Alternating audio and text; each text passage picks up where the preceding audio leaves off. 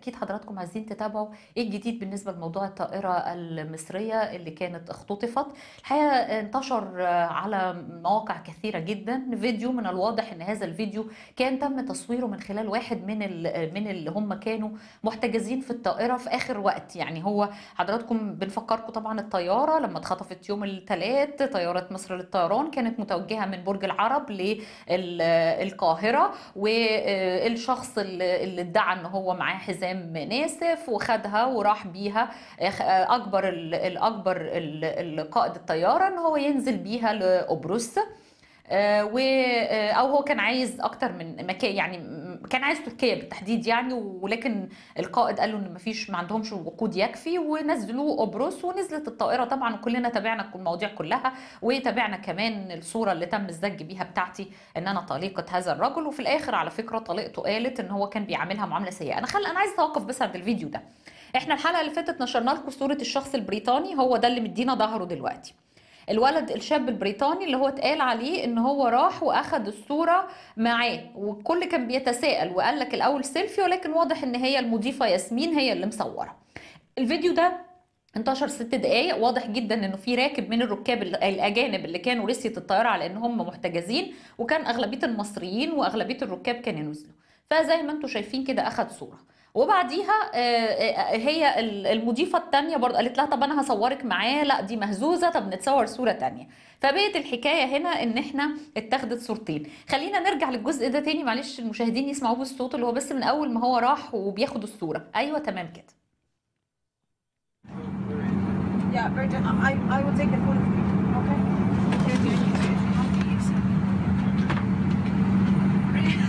yeah, we are not joking.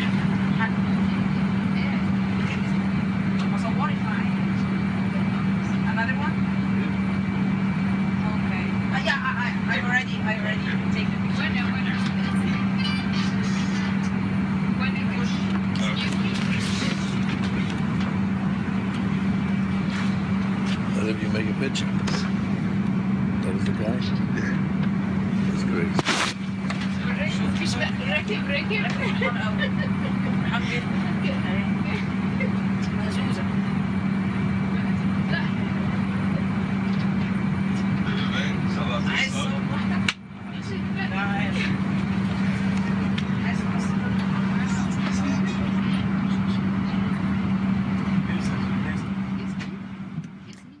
هنكمل تاني آخر دقيقة. الحقيقة طبعا أنتوا سمعتوا كلمة مهزوزة والكلام ده كله. لما انتشرت صورة أعتقد اسمها رنا أنا مش متأكدة يعني المضيفة آه، يعني دلوقتي من اسمها ولكن اتقال بقى كلام كتير إن هم كانوا بيصوروه علشان يتعرفوا عليه. الكلام ده واضح طبعا من الفيديو انه مش هو ده الكلام.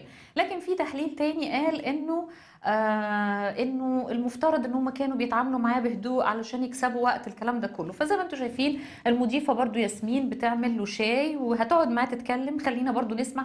أنا الحقيقة ما قدرتش أفسر الكلام ده لكن ال- الأجواء طبعا أجواء يعني آه، آه، تحسوها كده في سلام في هدوء في آم، يعني تعامل لذيذ مع خاطف الطائرة.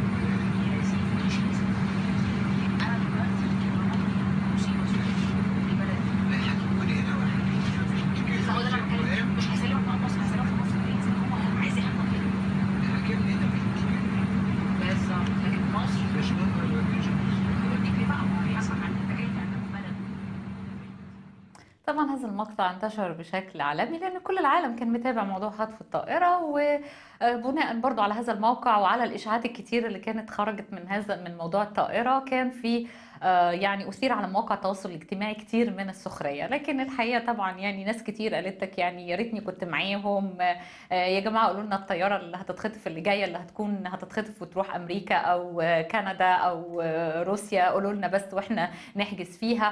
حاجات كتير كانت آه، يعني سخرية في هذا الأمر. ولكن بقى تيجي على يعني الرد كان من قطاع من الطيران قالوا إن في كورسات هم بيعلموهم يعني إزاي يتعاملوا في الأوضاع دي بهدوء وإنه لو هم حسوا واستشعروا إنه في لمسة إنسانية في الخاطف يعني فممكن بيحاولوا يستغلوها. فيمكن هو ده اللي حصل. ولكن طبعا في النهاية بقى البعد الآخر اللي هو راح بخيال ناس كتيرة راح لبعيد قوي. قال لك لا دي مترتبة ده السيسي هو اللي مرتبها. عارفين مرتبها ليه؟ مرتبها علشان خاطر يوهم الناس ويلهي الناس عن موضوع هشام جنينة.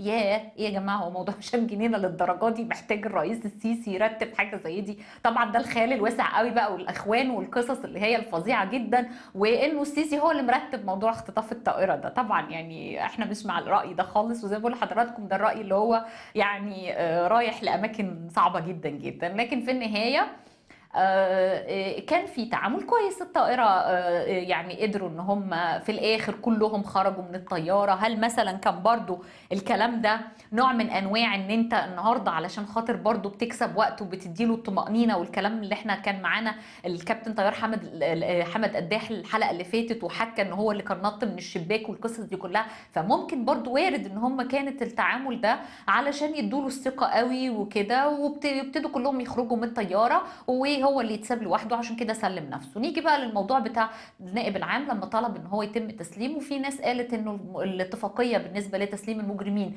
آه، الموقعة مع قبرص آه، غير مفعلة. فإيه اللي هيحصل عشان تفعيلها؟ آه، قبرص برضو كده لما يعني تم حبسه سبع 8 أيام على ذمة التحقيقات وبيحققوا معاه لغاية دلوقتي. مفيش جديد اتقال غير اللي هو آه، طليقته الحقيقية اللي إحنا عرضنا صورتها مش أنا طبعا يعني. عشان للأسف الشديد أنا فوجئت بإنه مواقع كتيرة جدا وفوجئت بإنه لسه اليوم السابع بيناقض نفسه. كاتب يعني كاتب كلام عبيط قوي كده اللي هو يعني إيه؟ إنه تصحيح للخطأ وإن هو نقلها عن مواقع إخبارية ومش عارف مواقع إيه وهو مش ناقلها عن أي مواقع غير إنه ناقلها عن موقع معروف عنه إنه موقع مسيحي بيجمع الأخبار من كل حتة ودي سقطة فظيعة لليوم السابع. وطبعا للأسف الشديد لأن في ثقة في اليوم السابع وكل شوية يدعي إن هو بياخد الجوائز وانه number 1 ومش عارف إيه تناقلتها بقى بوسائل تانية. لسه يعني حد قايل لي إنه الساعة 12 الظهر بتوقيت مصر يوم الثلاث شافوني شافوا صورتي على سكاي نيوز والجزيرة طبعا منقولة من اليوم السابع. وبعد كده روسيا اليوم نقلتها من اليوم السابع واليوم السابع بقى نقلتها منين؟ وكالات أنباء؟ لا مش نقلتها من وكالات أنباء نقلتها من موقع ومعايا الإثباتات. معايا الإثباتات بالتوقيت. أول موقع نزل ومش نزلها على اعتبار إن هو كان بيقول إن دي صورتي. لأ دي نزلت على اعتبار إن هو واخد مني أنا خبر من الفيسبوك. فحطت صورتي مع الخبر والخبر ده كان على طليقه إنه طليقه الإرهابي موجودة في قبرص. وإن دي مفاجأة في الموضوع إن طليقه الإرهابي الطيارة اتخطفت وراحت قبرص ليه؟ فقال لك دي طليقه الإرهابي في قبرص وهو رايح يزورها يعني رايح لها. فكانت الموضوع كده بس. هم نشروا خبر هذا الموقع موقع مسيحي نشر الخبر ده وحطوا الصورة دي بتاعتي اللي أنا لابسه فيها أحمر. من هنا بقى اليوم السابع هنا الكارثة بقى. بصراحه أنا لو مكان أستاذ خالد صلاح أنا أشوف مين ال... مين الأخ الصحفي اللي عمل ده؟ وارفته بصراحة ما هي ملهاش حل. لو أنت النهارده بتاخد من مواقع زي دي وتعتبر نفسك إنك واخد من مواقع إخبارية كبيرة. وبعدين اللي بيحصل إيه بقى؟ إنه بعد ما عمل التصحيح قال لك تصحيح إن إحنا نزلت صورة بالخطأ لطليقة الخاطف وإن إحنا كان نتنقلناها من وسائل إعلام مش عارف إيه ودولية وعالمية. آه ده الموقع المسيحي ده بقى وسائل إعلام دولية وعالمية. الغريب بقى إنه بعد التصحيح ده التصحيح وده نشره بالظبط كان يوم يوم الثلاث تفاجئوا بقى حضراتكم إنه على موقع برلماني الخاص بيه يوم الخميس وسارة درويش منزله الخبر والخبر لسه موجود لغايه دلوقتي. انه حاطه صورتي أنا المفروض في متن الخبر بتصححوا الموضوع بيحاولوا يصححوا المعلومة بس صورتي أنا ومكتوب عليها ان انا مارينا فالحقيقة أنا مش عارفة أقول إيه. يعني مش قادرة مش عارفة فعلا أقول إيه في الوضع ده اللي تسبب لي في أزمة وإن أنا مع كل بقى المواقع وفاجئت بإن لقيت مواقع وبحاول أتواصل مع الكل ويا جماعة صححوا الموضوع. ويا جماعة دي مش صورتي دي مش صورة مارينا وصورة مارينا أهي. ويعني أنا يعني في صداع غريب طبعا بسبب هذا الموضوع. زي ما بقول لحضراتكم يعني القصة بتاعت الطيارة دي اخذت الحقيقة أوضاع. أتمنى إنه يعني إحنا طبعا كده فهمنا إنه للأسف الشديد الإعلام المصري لم. لا يتحرى الدقة الحاجة الثانية إنه بينقل عن مواقع معروف عنها إنها المواقع دي هي اللي بتنقل منهم وهي اللي بتاعت copy paste يعني بينقل من كل المواقع وبيجمعها الموقع المسيحي بيجمعها في موقع واحد. وان هم هم مجرد حطوا صورتي مش بيقولوا إنها صورتي. ال- القصة التانية طبعا إن أنت دلوقتي يا ريت يوصل الكلام ده للمصادر العالمية إن أرجوكم ما تاخدوش من أي موقع حتى لو هو بيدعي إن هو أكبر موقع وأول موقع و و و لا ما ينفعش. ما خلاص ما دي خطأ ده خطأ رهيب. يعني خطأ وسقطة فظيعة. لا وإيه؟ وإن هو نزل التصحيح وعلى موقعه موقع برلماني الخبر موجود وبصورتي. يعني أقول إيه؟ أنا مش قادرة أعرف أقول إيه يعني بصراحة. فأنا يعني مش عارفة ما عنديش أي حاجة أقولها يعني حقيقي ما عنديش أي حاجة أقولها. فبتمنى إن أي حد يكون عنده فرصة إن هو يوصل. أنا تواصلت مع روسيا اليوم وقلت لهم هحاول أتواصل مع سكاي نيوز والجزيرة يعني كل ده هدك كل ده صداع عليا. علشان بس يفهموا حاجة يفهموا إنه ما تنقلوش أخبار ب... وانتوا كده يعني آه، عميانين يعني تحروا الدقه في أي خبر بتنقلوه حتى لو في وقت أزمة. والحكاية مش قصة إنك أنت يبقى ليك السبق إنك تنزل قبل أي حد لا الحكاية إنك أنت تتحرى الدقة وإنه لما بتبقى صورة ده سهل قوي إنك تحطها على Google Images أو ال- ب- بتعمل check لل image وبتعرف ال image دي الصورة دي يعني بتاعت مين قبل ما تتنقلها بهذا الشكل. آه، موضوع تاني طبعا اللي تعرضوا ليه الناس في هذا ال- بالرغم من المشاهد اللي عرضناها وإنه كان في آه، يعني نوع من أنواع الهدوء كده والولد البريطاني اللي اتصور مع الخاطف مع سيف الدين مصطفى لكن على الجانب الآخر كان في ضغط نفسي وعصبي شديد جدا وبناء على الضغط النفسي والعصبي العصبي ده كان آه، المضيف حازم أبو بكر نقل إلى المستشفى آه، نقل أول أمس بعد انتهاء أزمة الطائرة المصرية تعرض حازم أبو بكر المضيف الجوي الذي يعد البطل الحقيقي لحادث الطائرة لحالة شديدة من الإجهاد وال إعياء بسبب الواقعة اللي مر آه، بها لأنه هو اللي واجه الخاطف مباشرة وتعامل معه واستطاع السيطرة على الخاطف. إحنا معانا أعتقد صورة حازم.